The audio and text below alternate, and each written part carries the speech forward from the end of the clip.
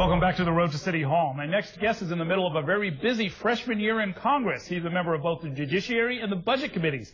He's also taking the fight over the NYPD's controversial stop and frisk tactic to the Capitol. He recently pushed U.S. Attorney General Eric Holder on whether or not the federal Justice Department plans to investigate stop and frisk. Joining me to talk about that topic, as well as the progress of immigration reform legislation and more, we've got Hakeem Jeffries, Congressman from Brooklyn and Queens. Welcome back to the program. Good to see you. Errol, good to see you. Thanks for having me. Yes, yes. Well, let's start with uh, let's start with Eric Holder. You um, sort of pushed him a little bit. We don't normally see freshman members of Congress talking with the uh, Attorney General, but he was there before what I imagine was a routine kind of oversight hearing. And um, you, you, sort of asked him about what was going on in New York City. What made you decide to do that? Yeah, it was a Justice Department oversight hearing uh, where the Attorney General came to testify before the Judiciary Committee. Uh, and I had an opportunity to ask a wide range of potential questions on the AP situation, the IRS situation, uh, any number of things that the Justice Department has jurisdiction over and that are hot button issues down in Washington, D.C. But I decided uh, that it made sense about a year ago on June 6th, a few members of the congressional delegation, I was still in the legislature, met with Attorney General Eric Holder to ask him uh, to take a hard look into the potential civil rights and civil liberties violations uh, that take place at the hands of the NYPD stop and frisk aggressive program.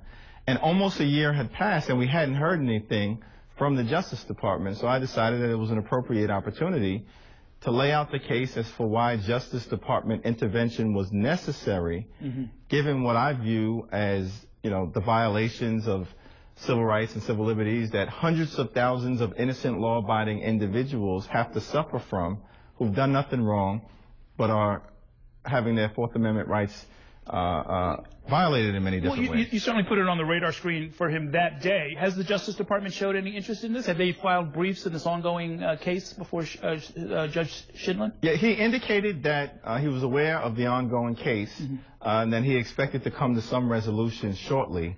Mm-hmm. But that he understood that it was a matter of great significance and that it was at least appropriate for the Justice Department to come up with a timely decision sometime sooner rather than later. Errol, the Justice Department has investigated the Newark Police Department, the Detroit Police Department, the San Juan Police Department, the New Orleans Police Department, the Police Department in Prince George's County. There's at least a reasonable case to be made mm.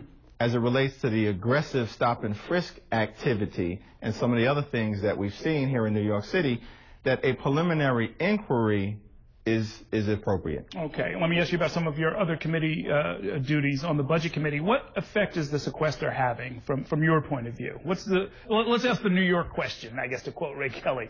Uh, how's this going to affect New York City? What are you seeing? Well, I have a very diverse district, including uh, more public housing developments than almost any other congressional district in the nation. One of the impacts of sequestration is that NYCHA uh, has lost out on about $190 million in funding. Now, we know that the condition of many NYCHA buildings are already subpar and that we've got residents who are living in very difficult, often inhumane conditions. Sequestration in this instance makes the bad situation worse. There are cuts to Head Start, cuts to Meals on Wheels programs, mm. and many other social safety net uh, programs that are important to the people that I represent in Brooklyn and Queens, to New Yorkers, and to many across the country. Unfortunately, Congress made a decision on sequestration to rescue aggrieved air travelers from the sequestration battlefield, sure. but leave seniors and children and working families, middle class folks, and others uh, to still deal with the consequences. That's why I voted against uh, the air traffic rescue bill because I didn't think it was appropriate to deal with one aspect of sequestration while vulnerable New Yorkers still have issues that need to be addressed. Let me ask you about another hot button issue, of course, which is uh, immigration reform. Do you think we're going to get immigration reform? I do think we will get immigration reform. I'm cautiously optimistic. Senator Schumer has done a tremendous job in leading a bipartisan effort uh, in the Senate. It will come before the Judiciary Committee at some point. I'm also the co-chair of the Congressional Black Caucus Task Force on Immigration Reform. We stand behind a robust pathway towards citizenship uh, that's tough but attainable. It's the American way. We in New York City know the value that immigrants who come from all over the world, who are hardworking, family-oriented, uh, entrepreneurial, contribute to the city. They've contributed to the country. and it will be the right thing to do for our democracy and for our economy to get comprehensive You, immigration you think it'll get done this year? I think there's a good chance that it'll get done this year. Mm-hmm. The key is for the Senate to pass a strong bill that has the support of the president and the American people to then send it over to the House of Representatives where there uh, is some hostile uh, figures who will oppose it. Mm-hmm. But the leadership, Speaker Boehner and Majority Leader Eric Cantor, have signaled in different ways the appropriateness of dealing with this issue. Okay. That's why I'm optimistic. Very good. And of course, the politics will change next year because it is an election year for all of you members of Congress. Um, in our last minute, let me ask you about some local politics. Yeah. Um, member of the Judiciary Committee, attorney in good standing, and so forth. And your good friend Ken Thompson, running for uh, Kings County District Attorney. I was wondering if you have endorsed in that race. Yeah, I haven't made a decision in that race, although Ken is running a strong race. He's incredibly qualified, has a wonderful story to tell.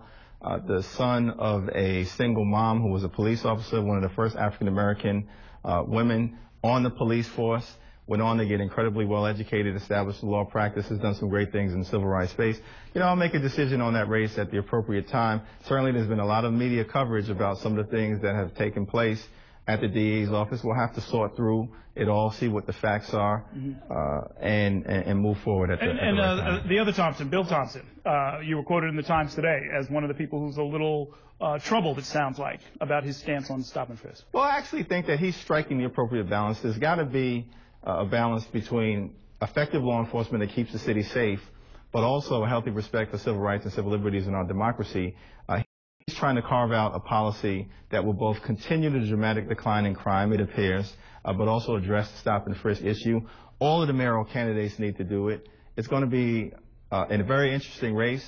I think that um, whoever we decide to select in the post-Bloomberg Giuliani era is going to have a challenge on their hands, both to continue some of the effective things that the previous administration has done, but also change direction in ways that will benefit outer borough communities such as the one I represent. Okay, very good. We're going to leave it there for now. At a later date, we're going to talk about uh, the rebuilding efforts after Hurricane Sandy, especially in the Howard Beach part of your district. But for now, we will say goodnight. Thanks.